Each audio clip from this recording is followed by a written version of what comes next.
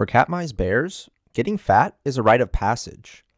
Each and every year, they gorge themselves on a veritable feast of anything and everything they can find, mostly salmon. The feeding frenzy is now so well known that the National Park Service dedicates an entire week to the spectacle. Aptly named Fat Bear Week, the Park Service uses this time to celebrate anything and everything having to do with these burly Bruins. Festivities include educational talks and live streams, but the real draw of Fat Bear Week is the bracket. Yes, the bracket. Katmai's chunksters are thrown into the virtual gauntlet, as Rangers devise a March Madness style tournament to determine which bear is, in fact, the fattest. Once the bracket is set up, you, the public, can cast your vote for which bear you think should win.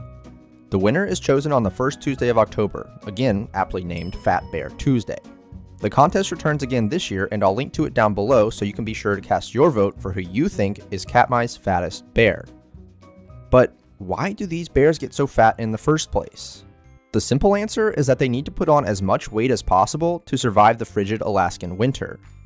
The more complex answer still has to do with hibernation, but it also deals with an actual competition between bears, and the importance of Katmai's salmon-rich waters and bringing this whole spectacle together. Let's tackle hibernation first. Here's a crash course in that most famous of bear behaviors. Contrary to popular belief, not all bears hibernate. Only in cold climates where winter resources are hard to come by do bears bed down for the long nap. Hibernation is simply a mechanism bears use to conserve energy and wait until food is abundant once again. Even then, not all cold weather bears do this.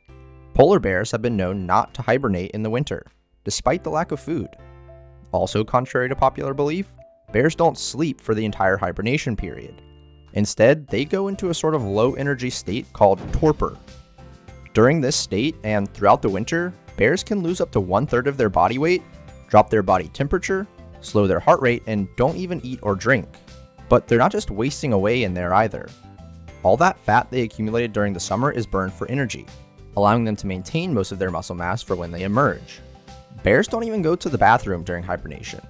Instead, they're able to repurpose their waste into proteins to further prevent muscle decay. And because they're not fully asleep the entire time, they get up and adjust themselves throughout the winter, kind of like your dog does when it's trying to get comfortable. This is thought to help them prevent pressure sores and better retain heat. When temperatures get warmer and food becomes available once again, bears emerge from their dens and start the long, arduous process of survival once again. But enough about hibernation, let's get back to that salmon feast. It is, after all, the main attraction of Fat Bear Week. Now, the National Park Service may set up a competition to pit fat bears against each other online, but there's also an actual competition amongst bears happening out in the salmon-rich waters of Katmai National Park. And just like online, the fattest bears are usually the winners, at least in some ways. On the surface, we can look at these bears gorging themselves on salmon as preparing to hibernate by building up enough fat reserves to survive the winter. And that is true. But if we step back and look at this ecosystem as a whole, we can see hundreds of bears all doing the same thing, competing for resources. Bears that catch more salmon grow bigger and fatter. This means they can dominate more territory, catch even more salmon, and grow even fatter. It's a never ending cycle of fat bears. And when winter comes around, not only will that fat help them survive, but for male bears, it will help make them a perfect candidate for mating in the spring. Emerging from hibernation big and strong is the perfect way to ensure you win the sweetheart of your dreams. Of course, lady bears get fat too. In many ways, it's actually more important because they have cubs. Not only do female bears have to compete against others for food, but they need to make sure they put on enough weight to support their cubs as well. If mama bear hasn't put on enough fat to provide for her cubs, a chemical signal will actually tell her body not to develop those baby bears, ensuring the cubs aren't born into an environment that can't support them. Thus, getting fat is crucial if female bears want to have happy, healthy, and very cute little bear cubs. And let's not forget about our little bear cub friends, because they face their own set of challenges when it comes to getting fat.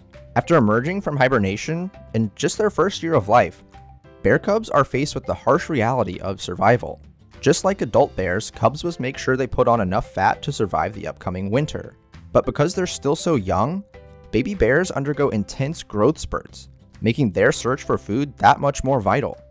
Getting fat not only helps bear cubs to simply survive, but to grow big and strong. ensuring they have the energy and nutrients they will need to live a full and healthy life. And of course, this whole spectacle is impossible without the resplendent waters of Katmai National Park and Bristol Bay. This region of Alaska is home to more grizzly bears than people, and has one of the largest runs of sockeye salmon anywhere in the world. The two main rivers in the watershed, the Nushagak and Kvichak, nourish this ecosystem with vital nutrients and resources, giving rise to a wonderful array of biodiversity. All five species of Pacific salmon can be found here coho, chinook, chum, pink, and the aforementioned sockeye. In addition to the salmon, the Bristol Bay watershed is home to 24 other species of fish, 190 species of birds, more than 40 species of terrestrial mammals, as well as freshwater seals, walruses, right whales, and beluga whales. In short, Katmai and its surrounding waters are a truly wild place. It's home to an incredible abundance of wildlife and natural resources, including those very fat bears. For these bears, getting fat is how they survive. It allows them not only to endure the harsh Alaskan winter, but to outcompete other bears, care for their cubs, and grow big and strong. Each year, they rely on the nutrient rich waters of Bristol Bay to supply them with a sumptuous feast of salmon. And as the weather gets cooler and cooler, the bears get fatter and fatter. And then, when winter arrives, they bed down in their dens for a nice long nap, dreaming of spring when they can wake up and feast once again. Don't forget to check out the link down below to vote for who you think is Katmai's fattest bear. Results will be announced on Tuesday, October 5th, 2021. And as always, if you want to learn more about the world's protected places, don't forget to like this video and subscribe to the channel. It helps me bring more park stories to more people. Thank you so much for watching, goodbye.